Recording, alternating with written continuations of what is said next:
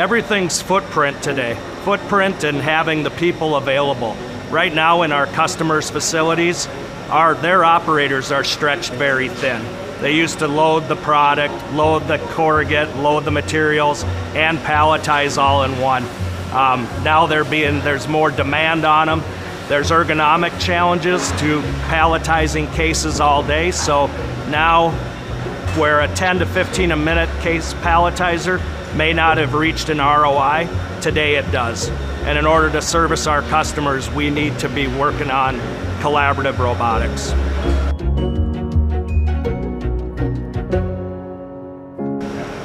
My name is Mark Suki and I'm the Senior VP of Sales for the Massman Companies. Massman basically does all end-of-line automation. We started in our Villard location in 1978 and today we operate out of six locations focused in liquid filling, case packing, palletizing, pouch filling uh, throughout each of our locations. So our case packer here will run up to 20 to 25 cases a minute. What we really wanted to explore is how we could implement and use collaborative robotics within our systems. So in this scenario, we focused on palletizing. Massman builds robotic palletizers from single lane, one in, one outs, up to three lane layer picking, three in, three outs. But we haven't had a collaborative solution. Our low end, low speed solution is a gantry palletizer, which is exactly why we're looking at collaborative robotics um, looking in that 10 to 15 cases a minute area, picking multiple cases, and small footprint. I'm Zach Dotson, Solution Architect with Van Meter. Uh, part of my role here is I work with our customers to develop customized solutions um, so that they can provide a complete package to their end users.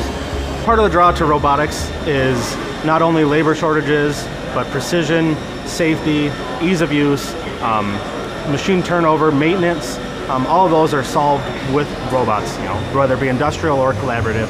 Um, they help to solve that. You think of a traditional machine where you have to change it over, it might take 20 minutes to a half hour, whereas with robots, you push a button and it's done.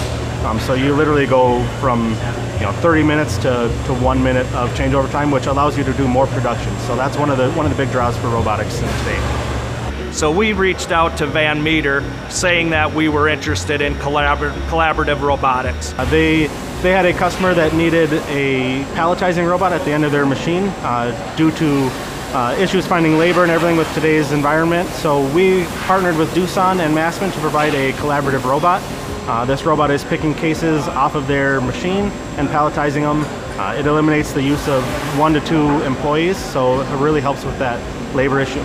These robots are allowed to work with human interaction with no safety required. Um, they have internal safety and torque sensors, so you uh, can work right with them without having to be worried about safety zones and that there. In traditional robotics, the robots operate within a fenced area, which naturally takes up more distance. Here, where you're operating in the open space, that does come with the speed limitation, um, but to operate in, in the area with operators hand in hand, side by side, this is the perfect solution. The operator can come and remove that pallet and replace a new pallet and not have to stop the machine or the robot. Due to the collaborative nature, it's perfectly safe. If the robot were to come into contact with them, there's safety sensors that fault it out and stop, stop motion.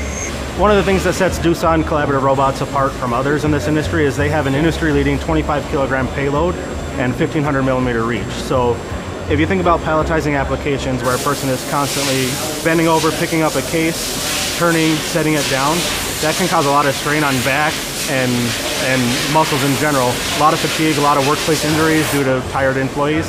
Uh, the robots help solve that issue by eliminating it. Along with this, you're not eliminating that person, you're allowing them to use their time elsewhere. So they can tend to other components of the machine or the line or the process that maybe can't be automated or have to be done manually with human interaction. Now that Massman has had the opportunity to work with collaborative robots, thanks to Van Meter and Doosan, we've had exposure from both of our applications engineers, our controls engineers, and our sales engineers to expand on that solution. Now instead of just palletizing to a single location, we can palletize to multiple locations. We can do multiple heights. We can configure the robot to fit our customer's environment. And their plant layouts. Due to the, the fact that these collaborative robots are able to provide higher, higher throughput, safer machines, you know, more repeatability, we continue to see a drive for them and, conti- and we'll see them expand and grow as our manufacturers continue to build equipment. It's all about uh, repeat customers and service and supporting them. So when Van Meter supports us and we can deliver a solid solution to our customers, that just means that we've built a long-term relationship. In this case, we're trying to provide more of the solution. As the Massman Companies continues to acquire, we're also organically growing within each of our facilities, which is what collaborative robotics are bringing to the table. We not only will use collaborative going forward in robotic palletizing applications, but we'll also look at material handling within each of our locations as the years move on. You get to, to see the machine come to life, you get to see you know, the, the project completed successfully, a happy customer, their end users are happy. So really it's, it's a great feeling knowing that at the end of the day, I'm directly helping somebody else down the line, and that's what it's all about.